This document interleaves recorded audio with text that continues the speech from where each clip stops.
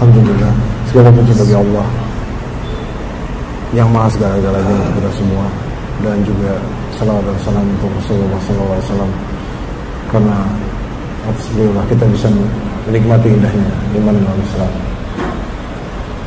Iya, uh, judulnya apa ya Pak hari ini? Hijrah dan hidayah. Hijrah, hijrah dan hidayah. Uh, Oke, okay, saya perkenalkan diri saya. Saya namanya Steven Indra Wibowo. Cuman hari ini saya udah pakai Indra Wibowo-nya saja. Saya salah satu karyawan swasta di dekat sini juga sebenarnya kantornya di Wisma Metropolitan 2 di lantai 7. Um, saya lahir di Jakarta 35 tahun yang lalu 14 Juli uh, tahun 81 uh, saya lahir dari keluarga yang berbeda dari jemaah di sini. Uh, keluarga saya pun keturunan yang minoritas di Indonesia. Saya dibesarkan oleh keluarga yang benar-benar bertolak belakang dari apa yang sudah kita alami mungkin dari masa kecil kita. Saya sekolah uh, SD sampai SMP saya di Ambarawa di FIC itu semacam sekolah bruderan jadi dia sebenarnya frateran sih lebih arah frateran karena pendidikan dan uh, sosial yang diajarkan. Uh, lalu SMA saya di Don Bosco di Kelapa Gading.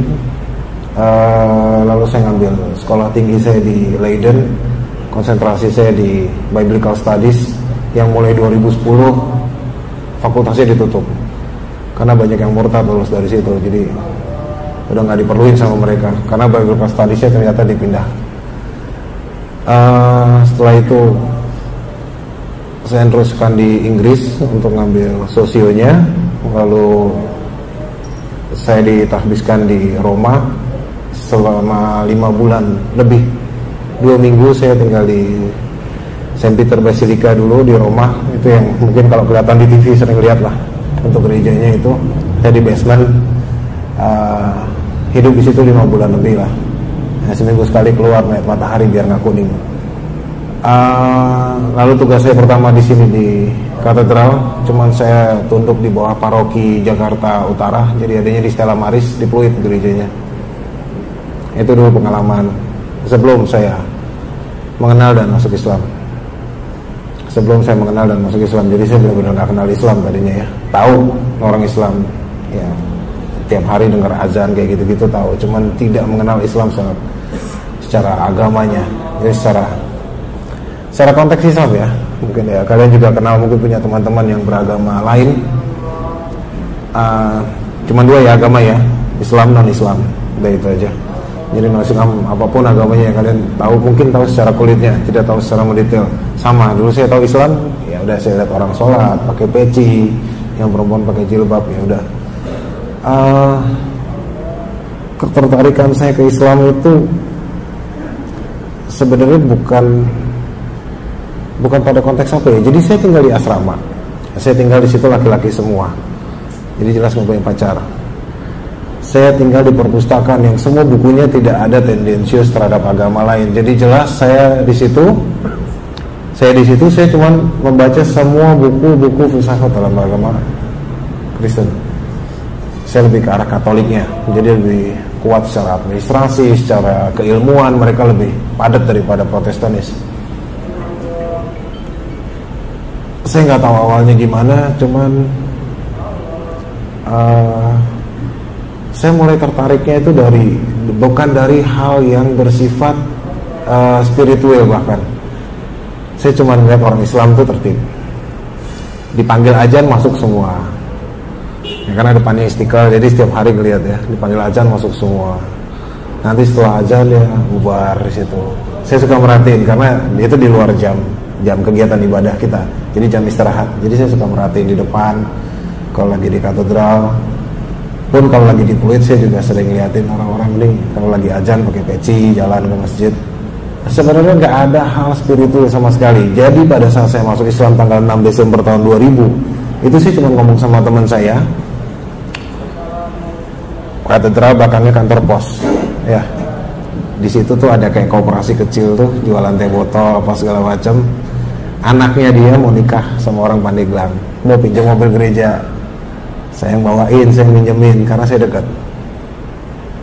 Saya sering mondar mandir kantor pos lah kirim kiriman surat segala macam. Dulu nggak ada jarang ya email ya. Jadi saya masih sering kirim surat manual. Nah anaknya pinjam ya udah nikah di Pandeglang. Bukan dia yang nonton saya sadat saya sadat bahkan di Baros di tempat yang kita cuma stop dia buat sholat doang. Terus saya bilang ke dia ya udah saya mau masuk Islam gimana kira-kira bilang ya kamu masih tugas di gereja gimana? Ya, itu urusan saya lah. Cuman pada saat itu dia bilang ya udah bisa nggak? Ya, dia bilang bisa. Dia bilang bisa. Nah pada saat itulah saya berubah saya convert.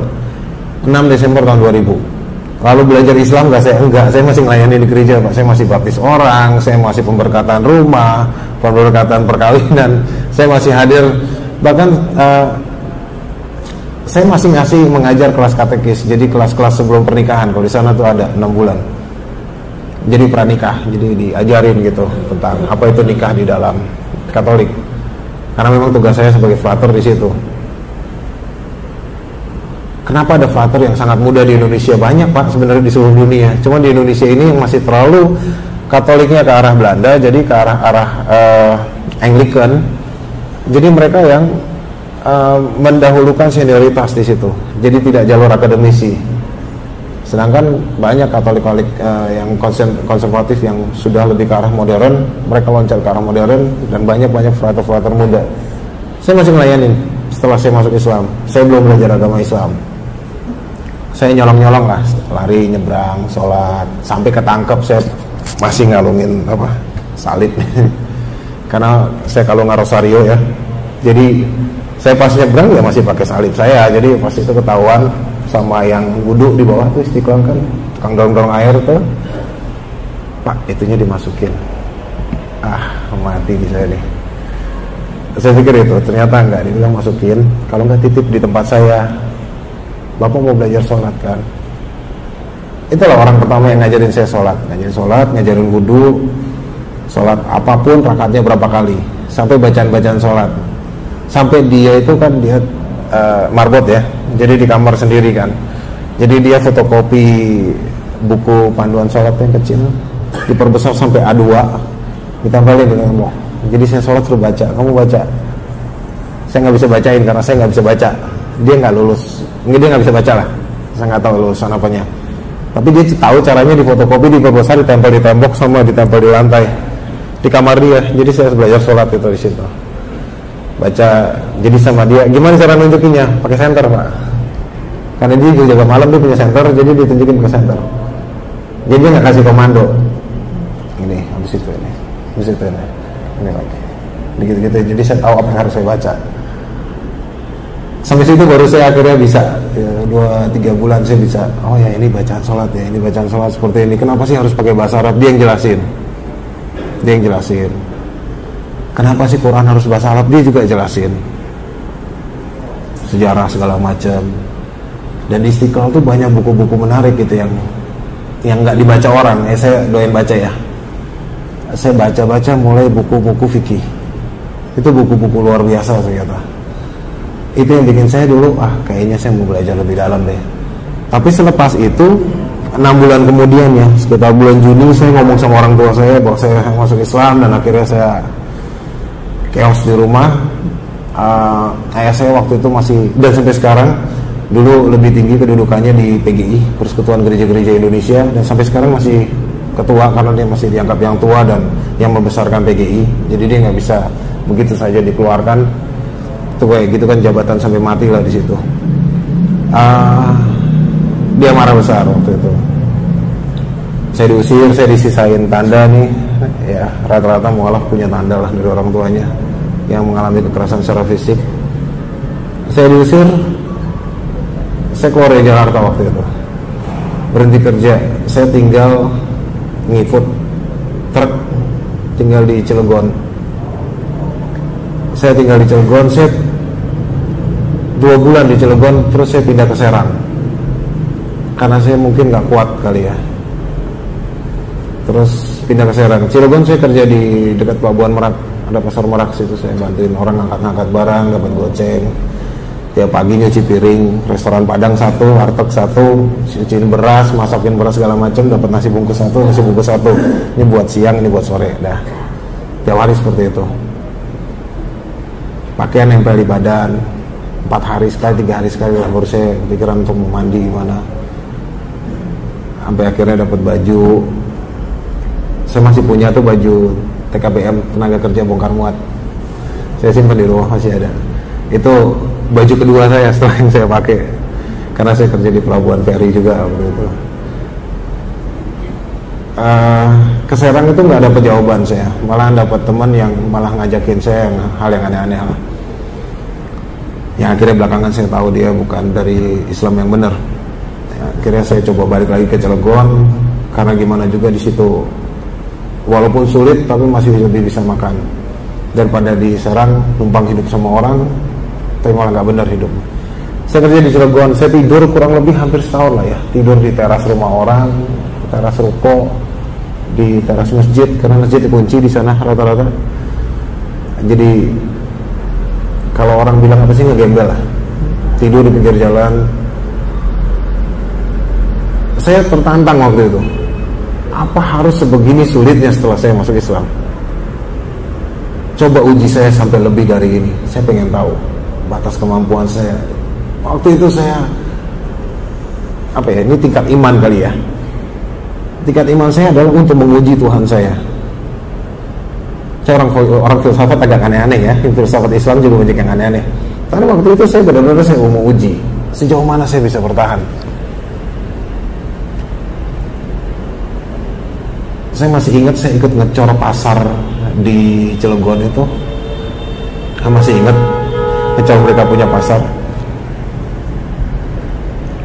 Uh, hari itu akhirnya saya uh, dipakein baju yang uh, tenaga kebersihan pasar kali ya itu namanya.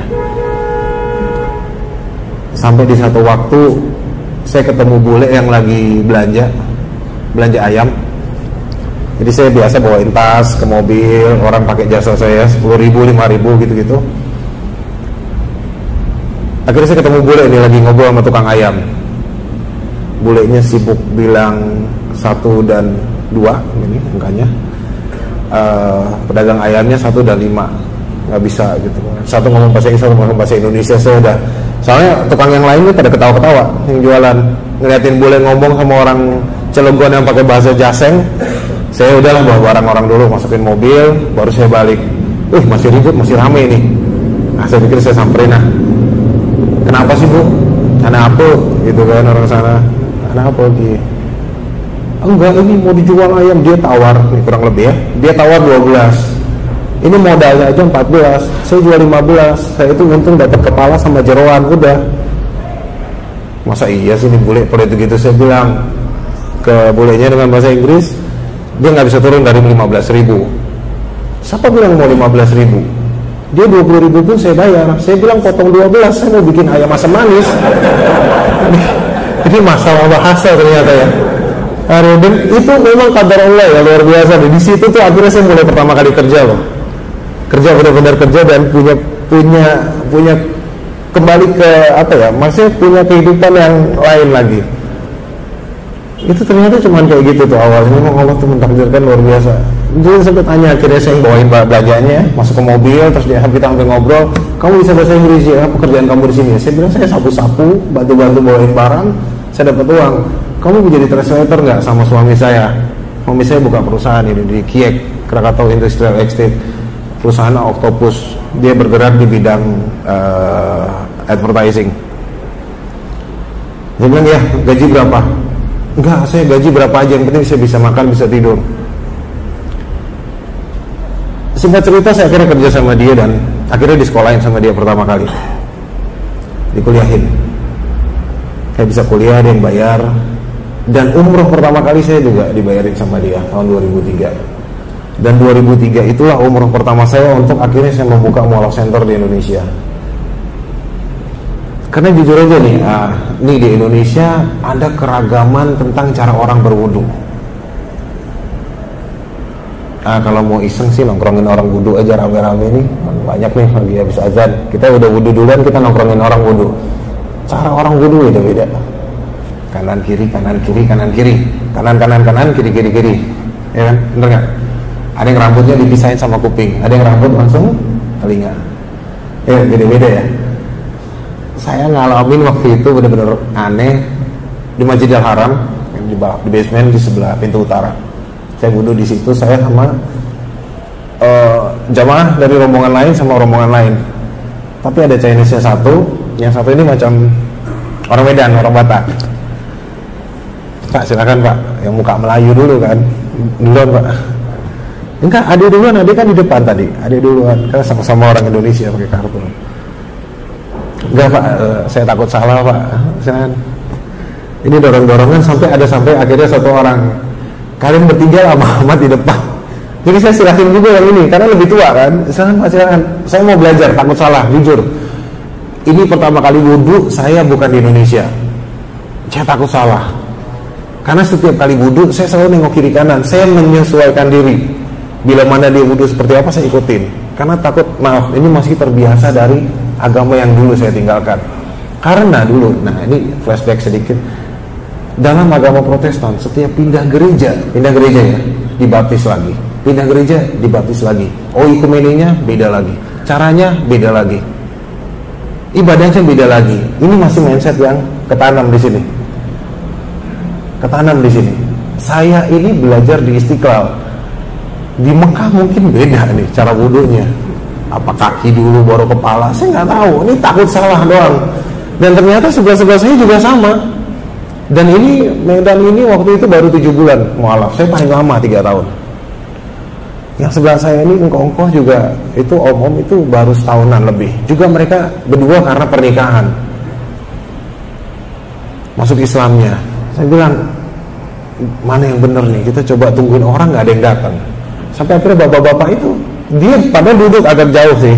Dia lagi habis ngumpulin air, air minum di botol, lagi ngerapin botolnya. Dia nyamperin dia contohin lagi akhirnya. Eh sama ya ternyata. Ya sama pak. Wudhu seperti apa emangnya? Maaf pak saya nggak nggak ngerti saya. Ini bener-bener jujur nggak ngerti. Tahu mualaf berapa tahun. Akhirnya kita ngobrol di berempat nih. Kita ngobrol berempat. Bapak ini nih akhirnya bilang emang kenapa kalian nggak belajar? Ya susah pak jujur nih saya punya pengalaman juga pribadi setelah saya kerja di Cilegon tadi. Saya datang ke nggak usah sebut masjidnya di mana ya di daerah Cilegon. Saya datang ada guru TPA kan. Ini bahkan bayar loh maaf ya. Ini bahkan bayar. Setiap pertemuan sekian. Kayak orang mau belajar mobil bayar setiap pertemuan. Dia bayar punya. Saya datang dia datang. Saya ya kan dia dia udah standby. Saya datang datang. Pertemuan ketiga keempat kelima saya datang dia late. Dia datang telat eh sorry pak. Sorry. Tadi anu apa segala macam lah ya. 6, 7, 8 telat. 9 nggak datang. Dia cuma nelpon, maaf pak, saya nggak bisa hadir hari ini, saya ada keperluan. 10, 11 datang, 12 nggak datang, udah, bilang bentuk tuh kayak zebra. Saya sendiri bingung ngaji ini mulai dari mana sampai ke mana gitu loh. Ini belum maju ke arah kitab-kitaban apa pun juga. Ini yang waktu itu yang akhirnya saya putuskan udah udah udah. Gue udah stop deh ngaji deh cari yang lainnya ketemu teman kerja maaf ya dia agak-agak mencong ya. Dia yang ngajak saya. Saya anak asrama pak waktu katolik. Saya nggak tahu diskotik saya nggak tahu pub saya nggak tahu karaoke saya nggak tahu dunia dunia malam. Saya tahu dunia malam setelah saya masuk Islam bahkan yang ngajarin orang Islam. Yang dia bilang sampai hari ini saya masih terngiang-ngiang di kuping saya tuh ini semua di dalam diskotik ini orangnya Islam semua. Kalau lo mau coba cekin aja KTP-nya apa sih rukun Islam? Sadat ya, terus apa? Sholat ya. dalam keadaan apa pun lu sholat aja. Mau mabuk mau apa ya sholat aja. Begitu ya. Iya terus puasa. Nah itu puasa. Cuman kan kalau kuat kalau nggak kuat ya kita cari makanan. Gitu ya. Eh jujur loh Ramadan tiga tahun pertama saya bubar berantakan nggak jelas bubar berantakan nggak jelas. Dan yang sering ngajakin warteg ya dia. Warung yang buka yang di situ. Di kawasan tutup semua. Jalan pakai motor. Makan siang. Bulan Ramadan. Kita balik kantor. Terus gimana udah lanjut puasa lagi. Jangan minum lagi di kantor. Jadi saya nol. Saya nggak ngerti loh jujur. Saya nggak tahu. Kaedahnya seperti apa harus menjalankan saum saya nggak tahu. Guru saya itu yang tiap hari ketemu otomatis saya nanya dia dong. Ini gimana gini ini gimana gitu. Kayak nyobain makanan waktu buka puasa juga dari dia gitu. Karena saya pikir gila ya ngapain nyoba nyobain makanan? Lu kalau nggak cobain nggak enak nanti gimana mau buat buka puasa malah sakit perut? Oke masuk akal. Salah. Nggak nggak nggak salah ya. Ini salah. Benar-benar salah. Tapi yang saya jalanin seperti itu. Maksudnya berapa banyak sih orang yang seperti itu di Indonesia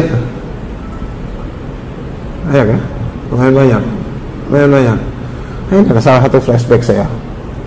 Sampai akhirnya saya pulang umroh bikin mall center di Indonesia. Kita mulai ngelayanin orang dengan uh, namanya webmail. Terus kita bikin uh, Yahoo Groups. Satu mualaf Indonesia at yahoogroups.com itu masih ada sampai sekarang masih hidup walaupun udah tinggal tiga ribuan lah membernya dulu banyak banget pak. Lebih dari sepuluh ribu di situ tempat curhat mualaf mualaf kita cuma bisa mualaf oh kamu mau masuk Islam di masjid sana aja di sini aja gampang segala macam. Kita arah-arahin orang. Sampai tahun 2005 akhirnya uh, kita bilang banyak yang minta untuk sahadat langsung sama kita setelah konsultasi segala macam. Makin banyak pak. Makin banyak ketemu mualaf makin banyak pengalaman yang baru kita dapetin.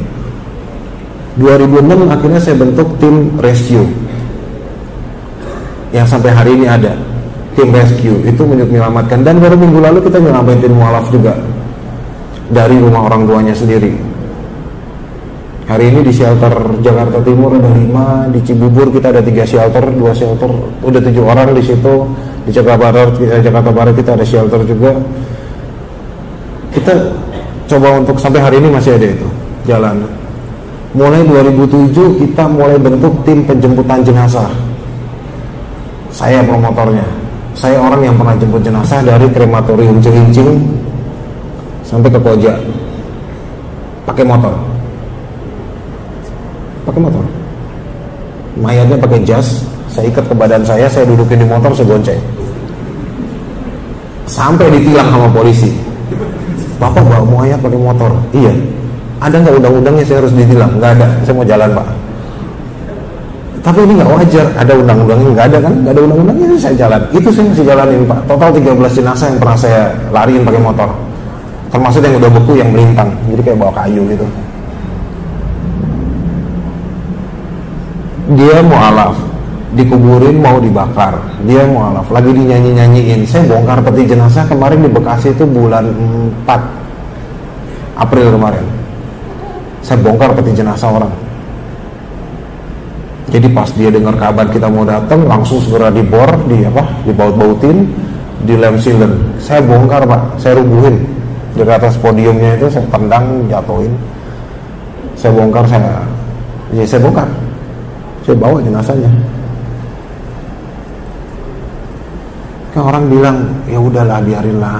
Ujung-ujungnya sama-sama dimakamin enggak saya takut nanti pada saat suatu saat di akhirat nanti Allah akan tanyakan kepada saya, kamu tahu saudara kamu meninggal, apa jatuh haknya dia dan kewajiban kamu sebagai saudaranya seiman? Memperlakukan jenazahnya. Saat kamu tahu dan kamu diam aja, apa yang harus saya jawab? Itu salah satunya.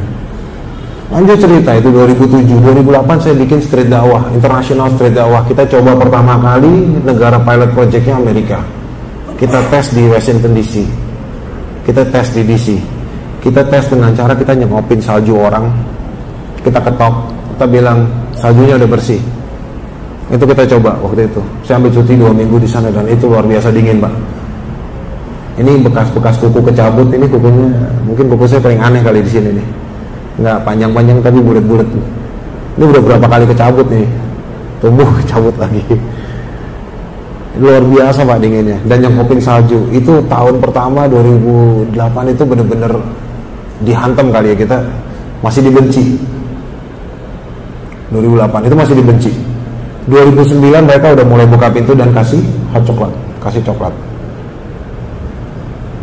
Kita itu street dakwah itu. Kita mulai 2008 dan di Indonesia juga kita coba beberapa kali street dakwah. Sampai hari ini kita masih tim street dakwah. Kita masih jalan masih sampai kemarin kemarin hujan ya lumayan ya. Di sini hujan atau enggak saya nggak tahu. Cuma di blok M berasa hujannya. Ketemu tukang gojek supir gojek driver. Lagi neduh sama saya di samping samping kan. Dia lagi ngeluh ngeluh ngeluh ngeluh ngeluh. Bapak ini kayaknya marah sama kehidupan nih. Kenapa nih pak?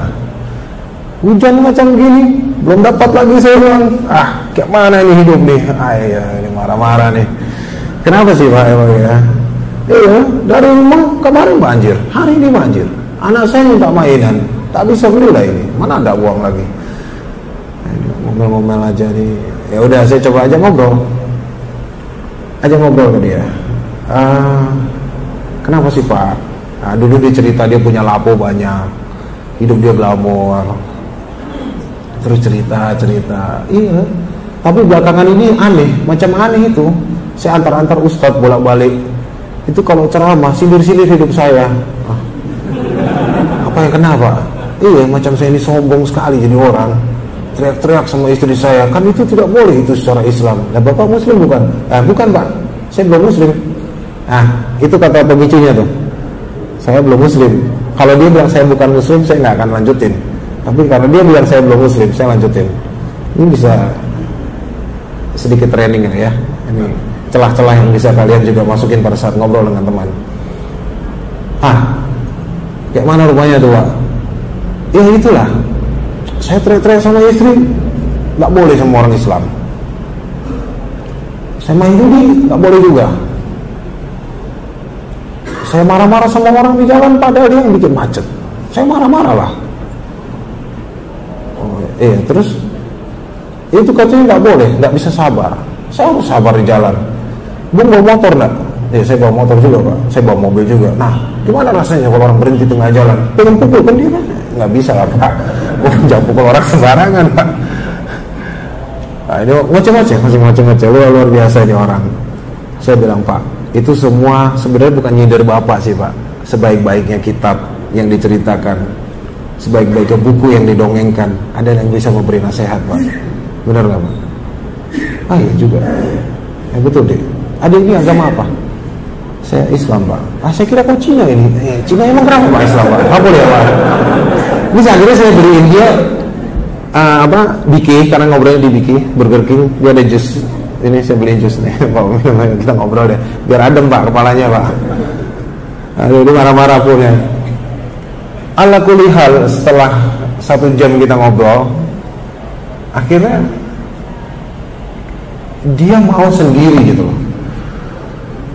Kalau ah, dia memang sih kata-katanya agak-agak aneh. Kalau saya masuk Islam coba-coba dulu boleh kah maksud lo gimana pak?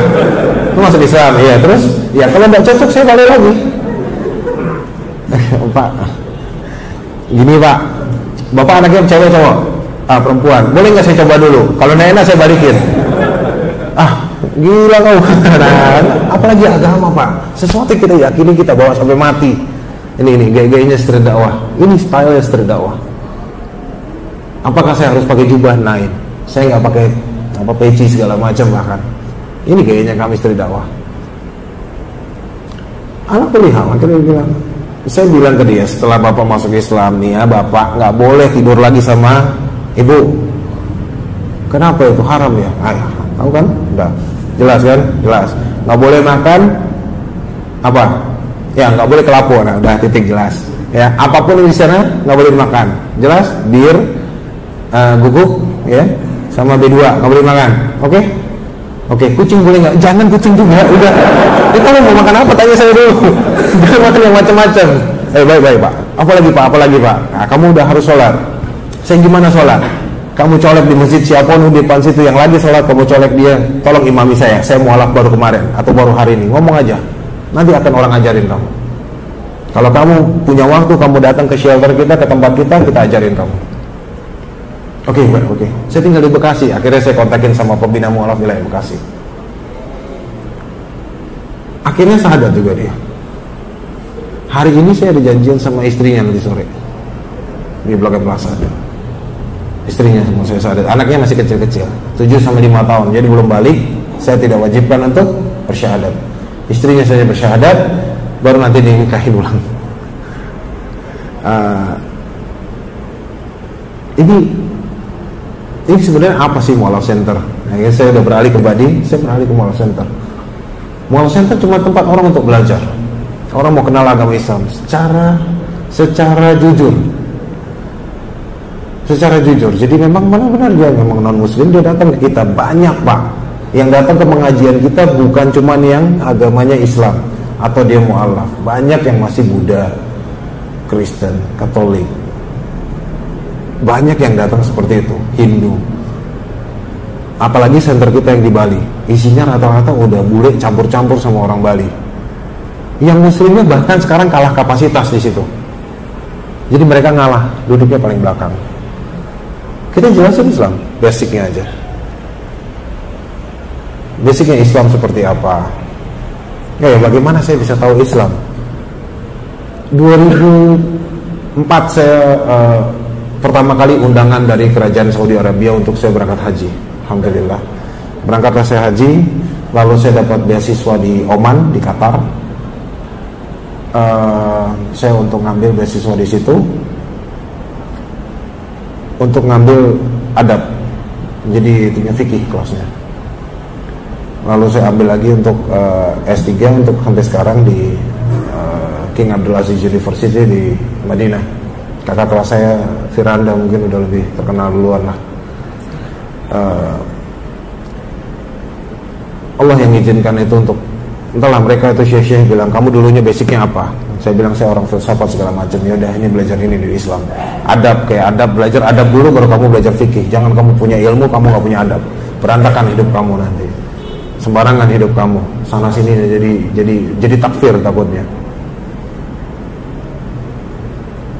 Dan mualaf center sampai hari ini alhamdulillahnya ya alhamdulillah ya Allah masih jaga kami Allah masih jaga kita daripada fitnah. Kita masih tetap bergerak bersama muslim kita tetap serving berapa banyak sih mualaf per bulan? Rata-rata 200 sampai 250 pak. Dan pengurus mualaf center semuanya bekerja sama seperti kita. Orang kantoran kerja. Ya ada ada yang gojek juga ya. Volunteernya ada yang gojek. Kalau volunteer beda lagi. Jadi pengurus intinya kami itu pekerja. Rata-rata orang bekerja ada yang punya pabrik ada yang punya catering ada yang punya usaha. Tapi kita orang kerja pak. Kapan sih waktu dakwah kita pulang kerja? Jam makan siang waktu dakwah kita ini yang suatu saat akan dihisap dan ditanyain jelas sama Allah waktumu ke mana kau buang Hati-hati ya, jangan sampai pertanyaan dibuang. Pertanyaan aslinya adalah waktumu ke mana kau gunakan.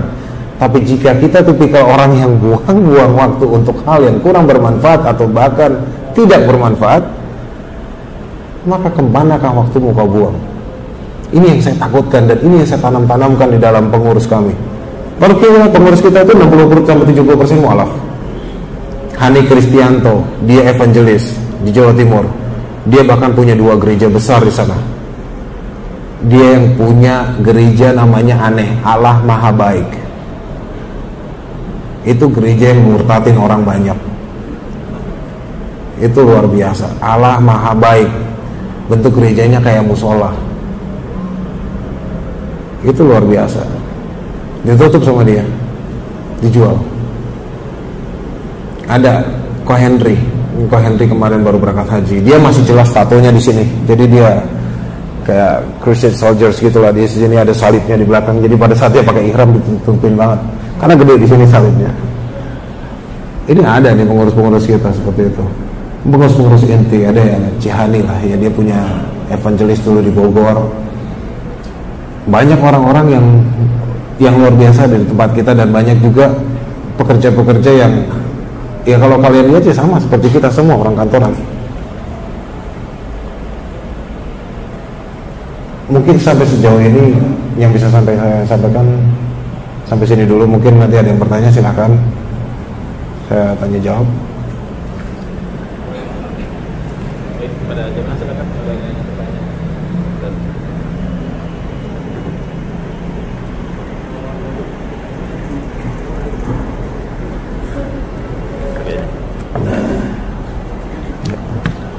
Ya, pada berajam silakan yang bertanya. Tentang Muhammad dan pada tanggal 20 November nanti dengan MCI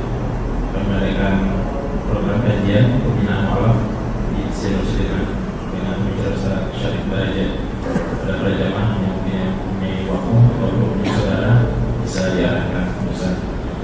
Boleh tanya kira-kira bagaimana untuk uh, Sidang Sudirman ataupun MCI itu dalam sinergi ini seperti apa? Ya, pembinaan mualaf sih sebenarnya sih umum ya. Sebenarnya sih maksudnya umum karena eh, saya yakin di sini udah hafal semua lah bacaan sholat. Siapa pun bisa jadi volunteer kok di tempat kita untuk ngajarin mualaf itu sangat sederhana. Karena setelah syahadat dia harus sholat, dia harus sholat, dia harus tahu bacaan sholat, dia harus tahu sholat dengan cara yang baik dan benar dan dia harus sholat. Setelah itu kita ajarkan dia buka Quran, baca Quran segala macam, baru kita ajarin dia fikih. Karena fikih begini, ada tipikal dua ustadz di Indonesia ya. Satu ustadz benar-benar ustadz, seorang guru agama yang ngajarin alif bata sa sin ha ho ya. Dia ajarin semua huruf hijaiyah dan dia ajarin orang untuk sampai baca Quran dengan baik. Ada seorang yang memang bukan ustadz kali ya. Aku lebih senang manggilnya mubalik. Mereka yang jago ceramah. Dia menyampaikan sesuatu pesan dan segala macam. Yang mereka biasa ilmunya jauh lebih banyak karena mereka mengenal fikih dan segala-galanya nah, itu yang lebih berat sebenarnya setelah mereka kenal fikih. Nah, mualaf nih diajarkan fikih-fikih dan akidah-akidah dasar untuk cinta sama Islam. Hari ini, Pak, hari ini, hari ini kita punya 17 minimal 17 volunteer yang 17 volunteer yang mereka mau dikirim ke daerah konflik di Timur Tengah. Mualaf, Pak. Mualaf. Saya nggak bisa ngapa-ngapain, saya banyak dosa. Bagaimana saya harus bisa berbuat untuk agama ini? Sedangkan Rasulullah sudah menyelamatkan kami Untuk mengenal Islam dan segala macamnya. Ini kita nggak ngajarin loh. Dia nonton sendiri, dia baca sendiri artikel. Kita cuma jadi jembatan dia untuk masuk Islam Dan kita ajarin mereka. Ini banyak hal-hal di luar sana yang entahlah ya yang mualaf. Dan kita juga donaturnya donatur mualaf center rata-rata dari mualaf karena mereka bekerja. Sisihin gajinya. Volunteer kita tuh dari anak SMP loh ya anak SMP anak SMP jadi benar-benar anak SMP yang udah bisa ngaji. Jadi dia malah minta ini kalau ada SMS saya bisa 4-5 kali SMS itu sekali SMS saya belum reply di SMS lagi sama dia. Kok minta satu lagi dong mualaf yang kemarin udah beres.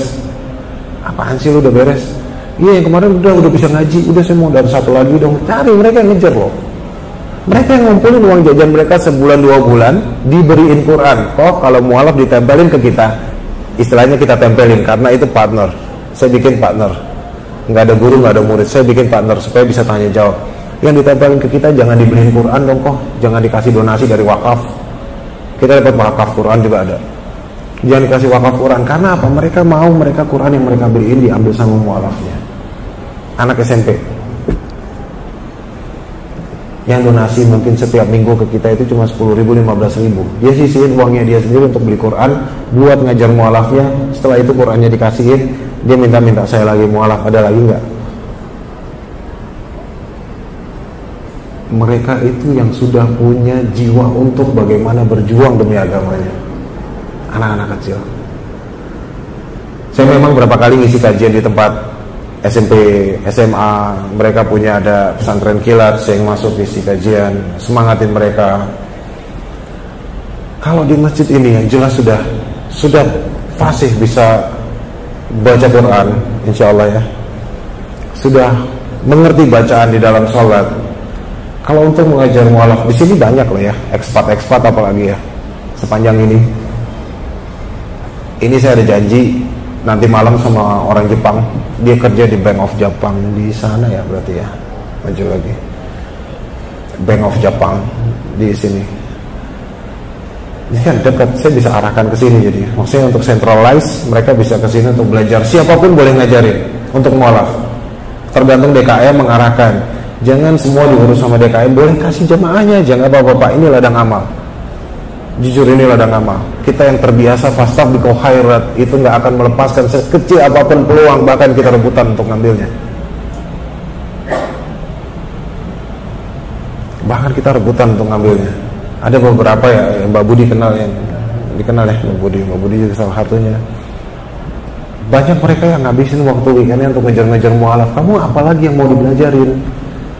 Jemput antar masukin pengajian ke sana ke sini itu yang bisa dilakukan sih pak itu yang bisa dilakukan ya karena memang sudah banyak mungkin diketahui bahwa orang sekedar syahadat saja gitu Iya. tertarik masuk Islam sudah syahadat saja follow up pembinaan dan sebagainya Hmm. menjadi sertifikat aja nah Iya. dari sertifikat sendiri yang saya juga bisa memberitakan Bisa, bisa. Eh, Sertifikat masuk Islam itu beda sama surat keterangan masuk Islam. Surat keterangan masuk Islam, ya dia telah syahadat. Sertifikat itu setelah dia belajar Islam, dia tahu sholat, dia tahu baca Quran, dia tahu fikih akidah akidah yang dasar. Itu kita berikan setelah dia memang paham. dan juga pembinaan tidak dia umum gitu Hmm. Kalau kita lebih tidak ke arah kajian umum, kita lebih kejar, kejar, dikejar, jadi private, didatengin segala macam, disamperin, lebih seperti itu. dan juga latar belakangnya juga lebih banyak orang yang latar belakang S1 pendidikan di pendidik gitu ya Hmm. Rata-rata sih, rata-rata yang mualaf.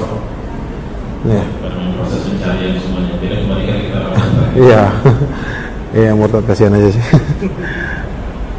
ya, ada lagi pak? Silakan.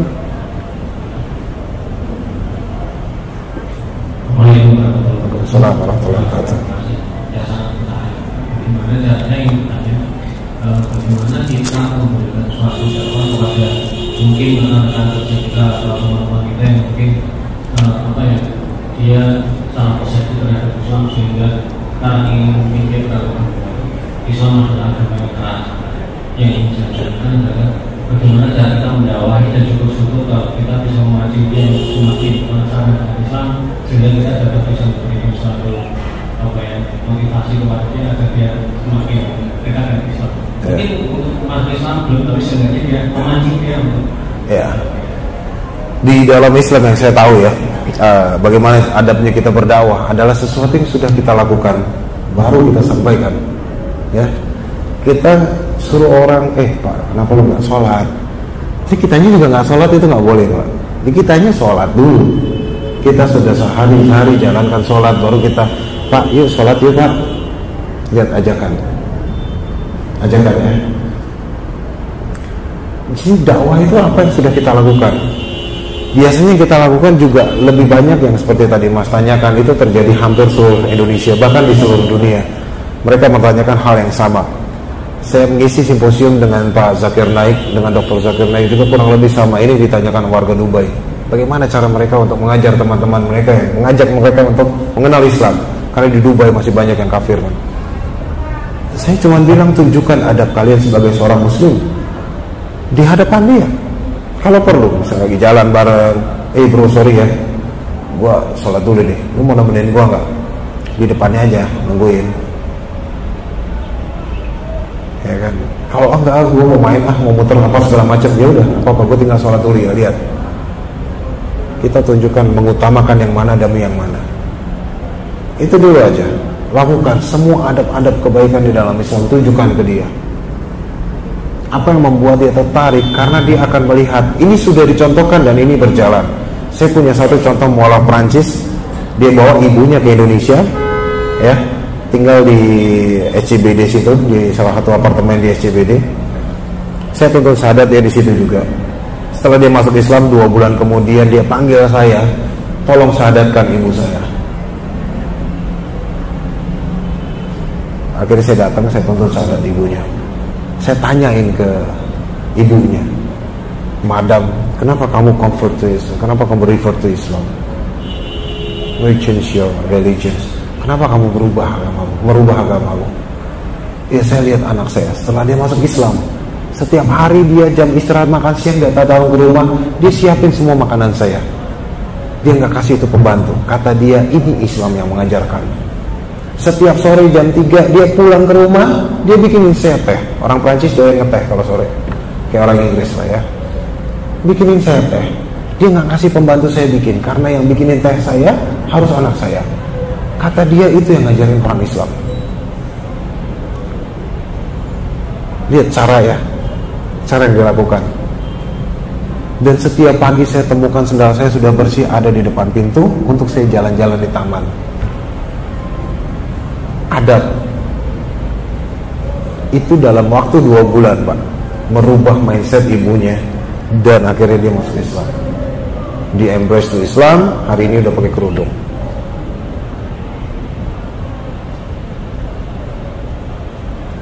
Ya, hanya adab saja. Jadi nggak perlu kita harus maaf ya, ada yang punya ilmu kristologi silahkan. Ada yang punya ilmu kristologi, kalau dia dapatkan dia seorang mualaf, fine. Yang kasihan saya kadang-kadang Muslim belajar kristologi dipakai buat debat. Ujungnya debat, nggak ada yang masuk Islam. Percaya saya. Saya tukang debat tapi di dalam gereja. Saya tipikal orang yang nggak mau dialog dengan non Muslim di luar di area umum, apalagi masuk ke masjid. Nggak. Buka pintu gerejamu, siapin kursi buat saya, siapin jemaat kamu, kita diskusi ilmiah. Ayo. Mau pakai satu tim tujuh orang, silahkan. Saya datang sendiri, sama siapin snack buat saya. Saya hadapin pak, saya hadapin pak. Sampai hari ini kalau keliling di daerah-daerah GPIB, namanya gereja GPIB, lihat di pos security-nya ada foto saya, keren banget lah. Seluruh Indonesia pak. Tulisannya dilarang masuk. 14 14 pendeta GIPIB masuk Islam. Debat terbuka di depan jemaatnya. Itu yang bikin foto saya ada di pos security-nya dilarang masuk. Itu sudah mandat dari dewan gerejanya mereka. Itu memang harus seperti itu, Pak.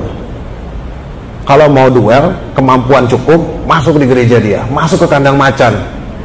You know, kita mau fight sama macan jangan di kandang beruang. Mati sama beruang. Macannya mati kita juga mati. Sih, rugi dua arah. Artinya apa? Pada saat kita di saya pernah di UIN sekali dan saya nggak akan mau lagi di situ. Musuh saya ternyata bukan orang kafir, tapi ada orang liberal juga. Wah gila dihantam dua arah. Jadi nonton muslim masih polos, masih unyu-unyu lagi. Semester 1, semester 2 ini anak baru lulus kemarin. Rusak akidahnya. Sih, lihat, debat tidak menyelesaikan. Tunjukkan adab yang baik, akhlak yang mulia. Karena itulah yang ditunjukkan Rasulullah Sallallahu. Ya, itu yang ditunjukkan Rasulullah Sallallahu. Dan itu yang harus kita ikutin. Nggak perlu mendebat. Kalau udah ngerasa kuat kenceng, ayo telepon saya. Kontak kontak saya ada di mualaf.com. Cari nomor telepon saya. Ayo kita mau ke gereja mana? Tak temenin. Masuk tapi pak.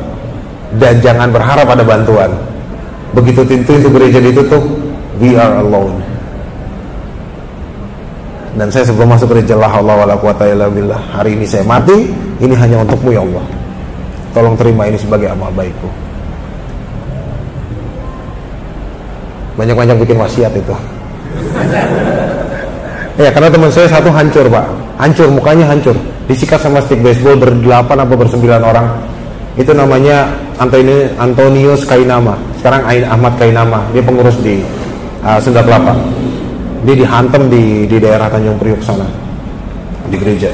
Habis kayak saya, argumennya kurang kuat atau apalah saya kurang ngerti. Pas keluar mau naik mobil digebukin semua mobil-mobilnya. Dia makanya dia bilang baru hari saya hari ini saya bung. Saya tahu namanya stick baseball itu keras. Karena hancur giginya pak. Tulang giginya tulang gigi sini retak. Sini hancur giginya tulang hidung patah. Dagu bengkok stick baseball asli bukan karet keras Nah, ini kurang lebih. Ini dunia kami kok. Jadi kayak kita kita jihad dengan cara yang berbeda, Pak. Kurang lebih seperti itu, Pak. Ada tunjukkan akhlak. Jangan pernah colek agamanya. Begitu kita sudah banyak nunjukin Islam ke dia, dia akan melek. Percaya, ikhlaskan hati. Lihat, pada saat kita mulai diskusi, jangan pernah punya tendensius atau hasad sedikit pun. Saya mau masukin Islam dia. Wah, nggak boleh. Yang berhak Allah. Yang berhak hanya Allah. Apa tugas kami? Menyampaikan. Itu saja ya, cuma itu aja sih Pak. Jelas Pak? Betul. Baik, ada lagi? Ada lagi soalnya? Kalau tadi kita cukupkan insya ya. Satu lagi insya Allah banyak wawasan gitu ya buat kita. Mudah-mudahan depan eh, bisa bisa kerja sama dengan NJS. Insya Allah. Kita dengar juga mau banyak juga apa namanya ya, ataupun yang lain juga gitu ya. Insya Allah. Dan kami buka. Insya Allah nanti akan ada pengumuman akan ada baik dari website ataupun dari sendiri kembali. Mungkin demikian. Wabillahi taufiq wal hidayah. Wassalamualaikum